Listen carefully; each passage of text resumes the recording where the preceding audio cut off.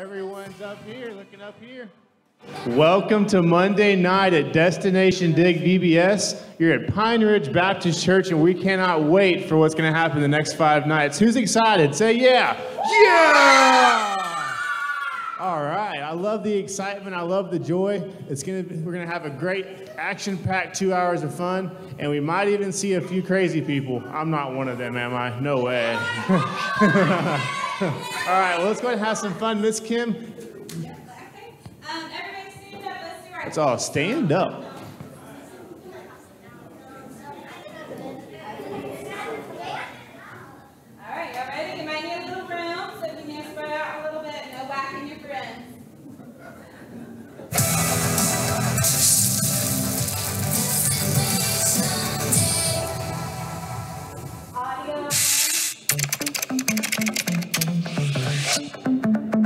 Audio one. Hey guys, Nash here in the Nash Cave. So this week we're doing something a little... audio. CD. I'm going to the biblical. All right, you ready? Let's get our shovels out. And we're gonna dig. Here we go. We gotta find them diamonds in the ground. Well, for the ladies.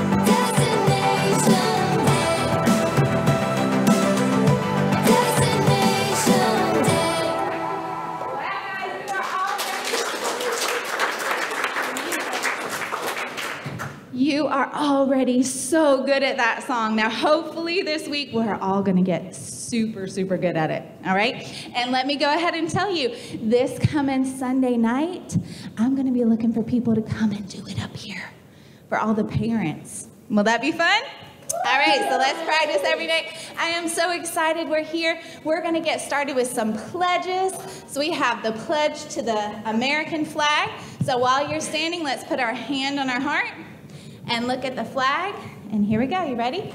I pledge allegiance to the flag of the United States of America and to the republic for which it stands, one nation, under God, indivisible, with liberty and justice for all. And now let's say the pledge to the Christian flag. You ready? The words are going to be up there if you need them.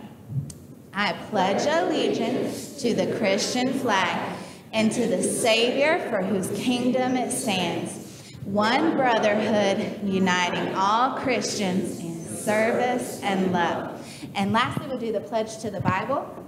All right, the words up there. One, two, three. I pledge allegiance to the Bible, God's holy word, and will make it a lamp unto my feet, a light unto my path, and will hide its words in my heart that I may not sin against God. All right, you can sit down. Uh, we have so many fun things to do this week. I am so glad you are here. Um, this week we're gonna dig and we're gonna um, we're gonna uncover some truths about God and about the Bible. Miss Annette's gonna come up here. I have something so super exciting to show you. Um, we have a friend that's going to help us this week. Okay? Now, you're going to learn when you go to missions class that it's really important to, for people to tell others about God. And those are called, does anybody know what those are called? Those people that tell others about Jesus? They're missionaries, and we're going this week. We are going to um, to take up an offering for some missionaries. Okay, do you know what an offering is? It's the money that can help them. Now, listen up. I have a super duper fun way for us to collect some extra money for the, for the missionaries. You want to see it? How are we Okay. doing this? How are we gonna do this? Oh, what? It's gonna have like mine. Look. Oh, look at this. Oh, This, this is Hector the collector. Hector the collector is he is very very good at collecting and keeping all the money safe for us throughout the week for VBS. Now this is how it works. You ready? Brother Patrick, I know you have some change in that pocket. so he's got, let's see, a penny, a dime, and a nickel. Do you think missionaries could help could be helped with a penny, a dime, and a nickel? Yeah. All right, you ready? Let's see what happens. No, here, put it in your hand. When we turn him on. You ready? Say one, two, three. One, two, three.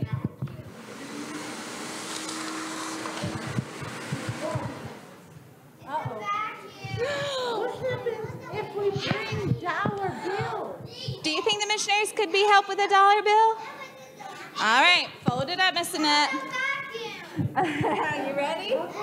Let's. Say one, two, three, go.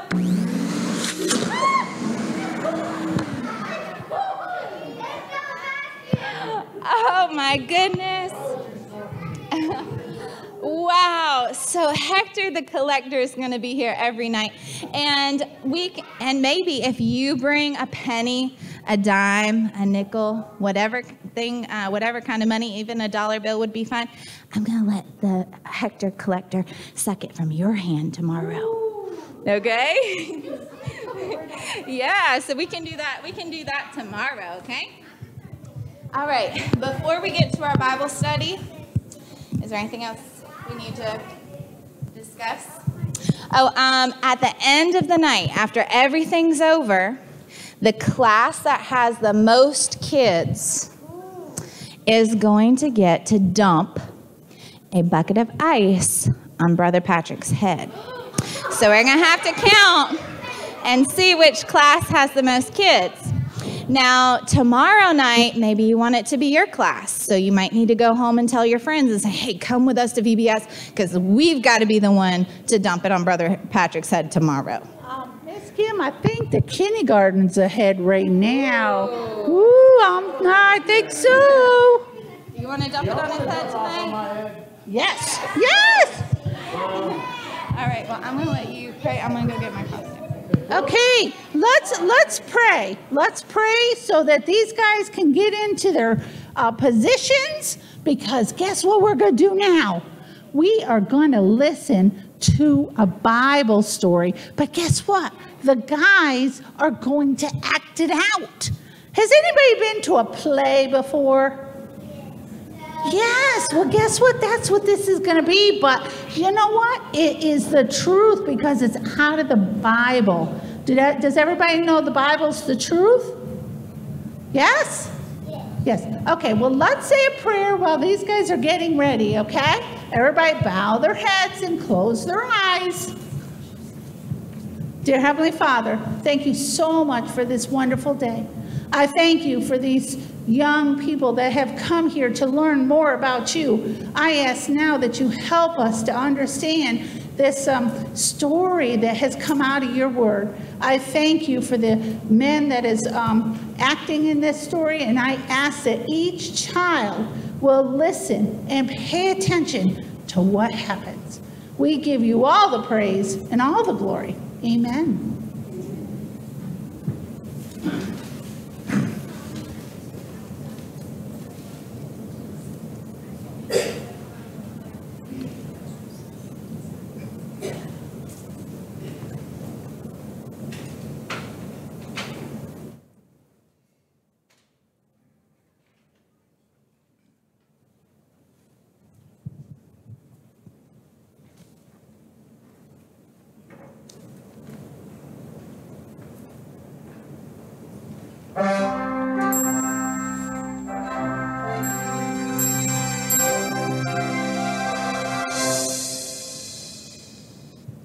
Hundreds of years before Jesus was born, God told prophets about his plan to send his son to be our Savior.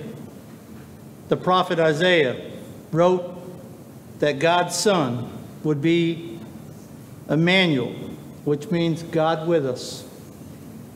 The prophet Micah wrote that God's son would be born in Bethlehem.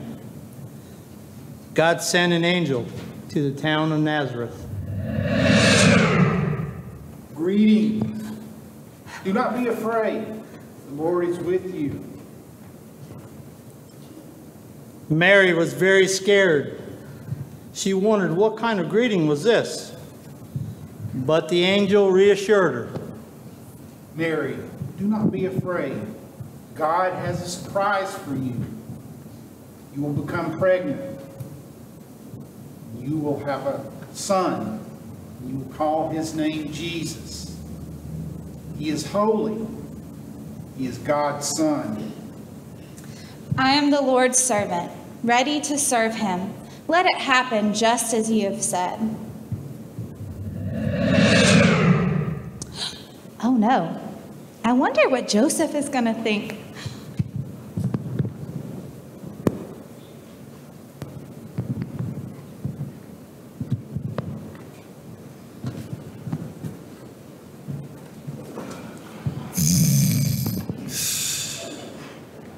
Joseph lay down to sleep for the night. Soon afterward, at exactly the right time, Joseph, who was engaged to be married to Mary, had a dream. An angel of the Lord appeared to Joseph in the dream. Joseph.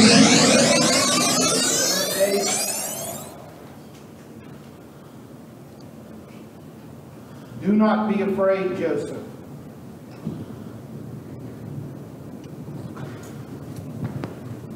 Do not be afraid to take Mary home to be your wife.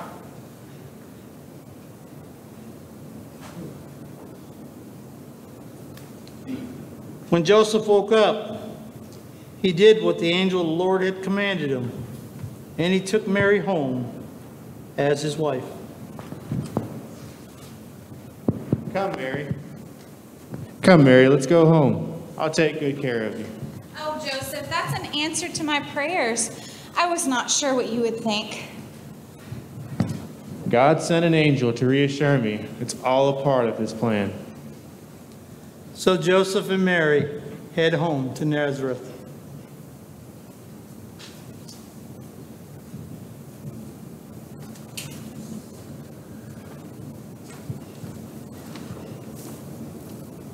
After a period of time, Hear me. Hear Caesar. Everyone must be counted.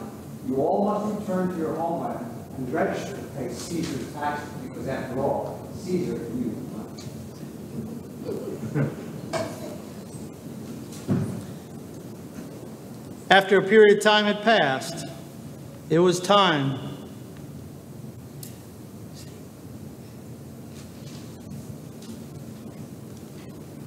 Mary, we must go to Bethlehem to register. Will you be able to make the trip? Don't worry about me. I can make the trip. So Joseph and Mary headed out to Bethlehem.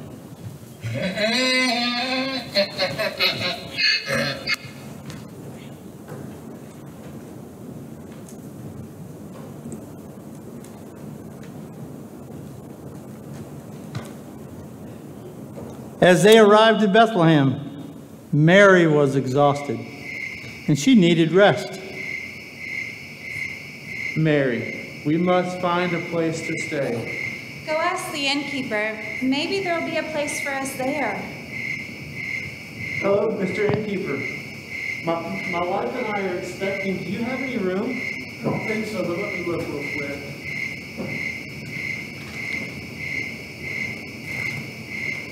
Um, I'm sorry, there are no rooms left, but you may, you may stay in the table. Great, great. You don't know how much we appreciate this very kind gesture, for my wife is totally exhausted from the trip. Mary, there are no rooms, but they do have some space in the stable that we can use. Well, that's wonderful. I just, I just need to get off my feet. Are you sure you'll be okay? Don't worry, I'll be fine.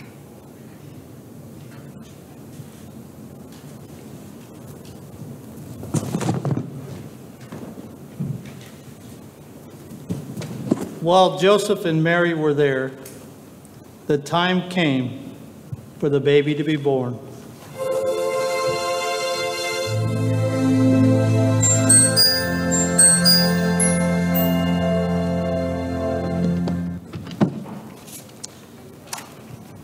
After a time, the wise men from the east arrived in Jerusalem looking for the baby Jesus. Where is the one who has been born King of the Jews? We saw his star we had come to worship him. Yes, we have gifts for the newborn king. Now Herod was king, and he was a very jealous man. So when he heard what these wise men said, he wanted some information about this baby Jesus. Where is this Messiah, the Son of God, to be born? Remember what the prophet Micah said, And you, Bethlehem, in the land of Judah, are by no means least among the leaders of Judah, because out of you will come a leader who will shepherd my people Israel.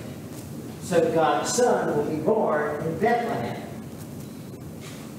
When King Herod heard this, he came up to the men, and with a mean plan to get rid of this new, new king that everyone was talking about, so he plans to trick these wise men. Go to Bethlehem. And when you find this child, let me know. So I may come and worship him. The wise men followed the star until it stopped over the place where Jesus was. Do not listen to him. All that King Herod wants to do is harm the baby Jesus. So do not go back to him. But we must go home. Well, what shall we do? I have a plan. Let's take a different route. And so the wise men went home safely another way. God promised he would send his son, and he did. God even gave details about where Jesus would be born. And that happened as he said. Jesus is the Savior God promised. When God makes a promise, he keeps it.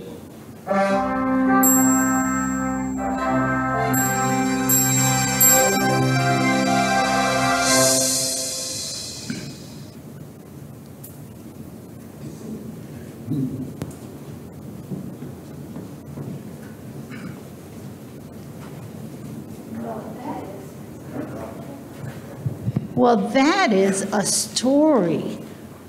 Who can tell me what happened in this story? What happened? Jesus. Jesus was born Ooh, Jesus was born. Where was he born? in a stable. In a stable. A, a comfy bed was in the stable? Was there a comfy bed in that stable? No. No. What was in that stable? Hey, Hey. Hmm. Who was after the baby? Does anybody remember his name? I know. Uh. Jesus. No, who was after the baby? Jesus was the baby. Who was after the baby? Harry. Herod. Who? How many people agree with that? Yes. And what did the wise men do at the end of the story? What did the wise men do? What did they say they were going to do? They went home safely. How did they go home safely? They took another path. Oh, they took another path. Did you know that tomorrow night we're going to do a, another play, another part of the story? Every night this week. okay. Um, what we're going to do now is we're going to dismiss to our um, rotation. So, oh, I forgot the daily drama. I forgot the daily drama. I forgot. Good thing I didn't even look at my notes. Okay, well, let's play that. Let's see what this is about.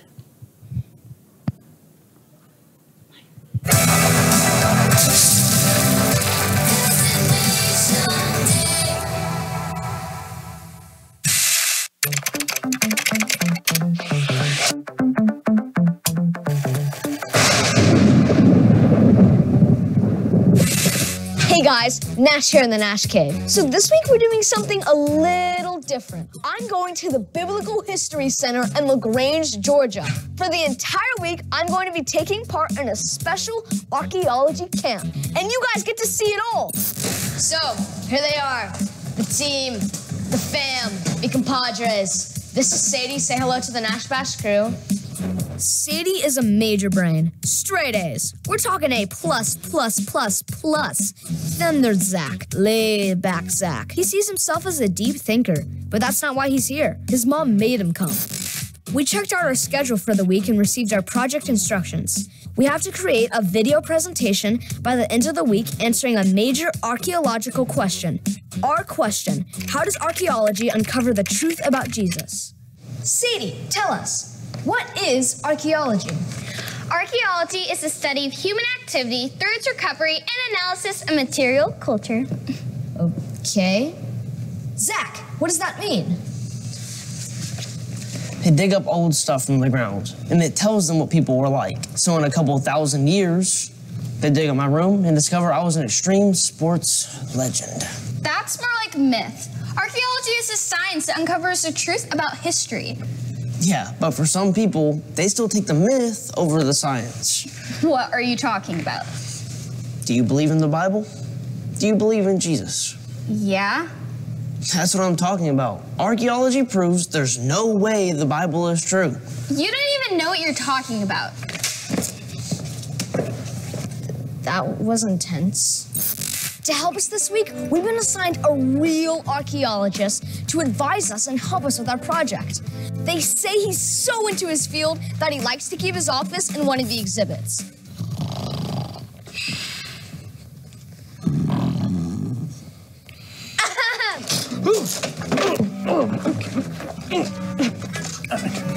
Is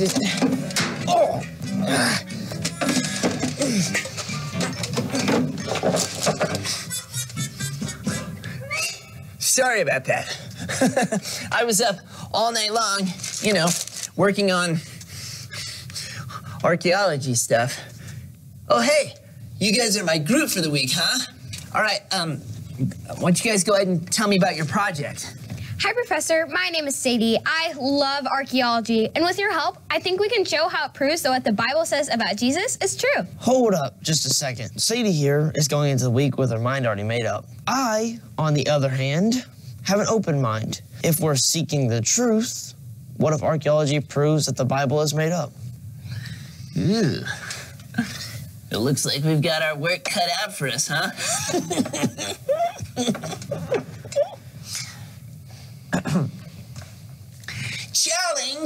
accepted. This project is going to be awesome. Oh, oh, oh, oh, I think I have something that can help you guys right away. Okay, on my computer, I've got a bunch of videos from my last trip to Israel. You're going to see someone on camera. His name's Barney. Super awesome guy. He was my driver, and he was a huge help while I was there. Anyway, uh, why don't you guys come here and uh, I'll show you.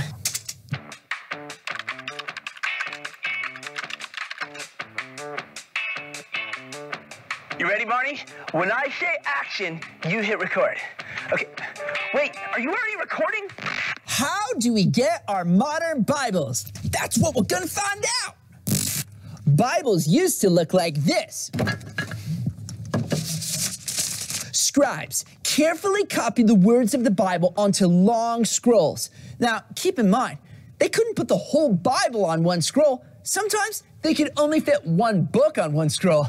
Over the years, archaeologists have uncovered many, many old pieces of the Bible that were often carefully preserved in pottery, kind of like this. Crazy. Am I right? Do you guys see this? It has been keeping my delicious sandwich fresh for days. Observe. Barney, no more tuna surprise sandwiches. It smells like feet. Sorry. And I don't know why, but for some reason it makes me cry. One of the oldest Bibles that we have today is over 1,600 years old. That's only a few hundred years after Jesus and his disciples walked on the earth. Modern biblical scholars can compare what's in our Bibles today with the increasing number of really old scripture portions uncovered by archaeologists. Here's what they find.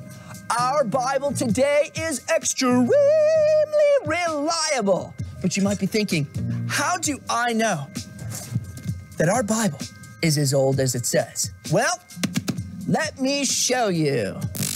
Inside this building are the Dead Sea Scrolls. They were discovered over 70 years ago and were preserved in jars of clay. They are a collection of bits and pieces of very old documents. Among the documents discovered was an almost complete copy of the book of Isaiah. This scroll is over 2,000 years old.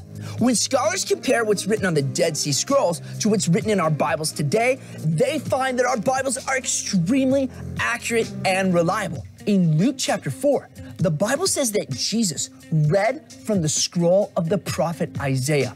We can be confident that the words Jesus read are the same words in our Bibles today. Bethlehem. Wait, wait, Barney, move a little bit that way. Wait, move back that way. No, no, no, no, too far. Go back. The prophet Isaiah wrote that God would send a savior to save his people. That's in our Bibles too, in Isaiah chapter 9, verse 6. Then the prophet Micah wrote that this savior would be born in Bethlehem. Hundreds and hundreds and hundreds of years after these prophets made these promises, Jesus was born right here in Bethlehem. Amazing, right? Okay, Barney, let's do that again. But this time, when I say that Jesus was born right here in Bethlehem, move your arms up and down. No, not like that. Just. Archaeology has shown us that we can be confident that, that what's written in our Bibles is accurate and trustworthy. Plus, what God promised through the prophets was fulfilled in Jesus right in Bethlehem. I mean, archaeology is the coolest. Uh, I meant to cut that last part out. So, archaeology has helped to prove how accurate the Bible has remained over thousands of years. Okay, let's see the Bible has stayed the same. That doesn't prove anything. There were probably a bunch of guys named Jesus. It was a common name. I just don't see any evidence that this guy was who everyone said he was. Maybe he was just a really good guy. But the Son of God? You're gonna have to do better than that. You know what? I'm done. You guys can do this thing without me. I got better things to do. Well, I was gonna try and explain. All right. Um, listen, guys, everything's fine, okay? Everything's cool. We have only just begun to scratch the surface of what archaeology can teach us about the Bible. So how about this? You guys keep working on your project, and tomorrow I'll give you guys some more amazing stuff that Zach will find interesting and you guys will find interesting. Deal? Deal.